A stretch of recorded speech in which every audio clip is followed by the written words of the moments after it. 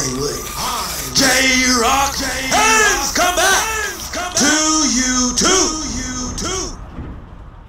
What is happening in, in, in, in with the millions?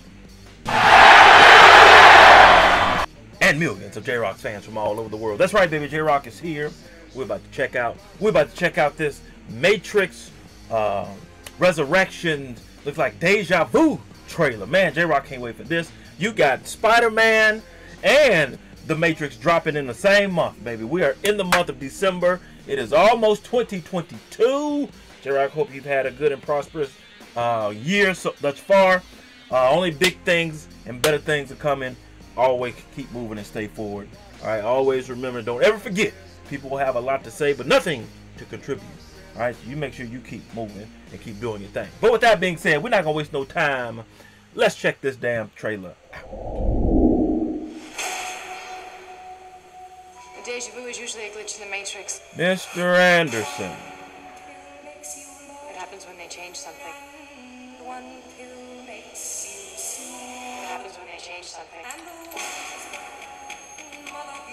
when they change Oh,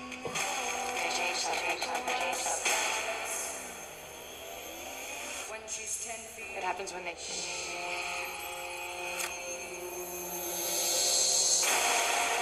Why use old code to mirror something new?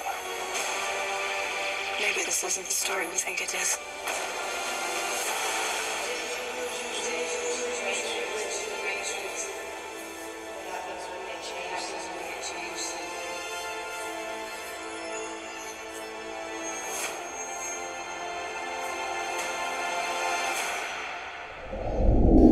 J Rocc says this.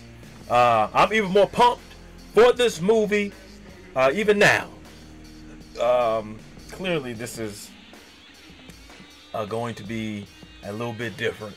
Obviously, you know it's 2021.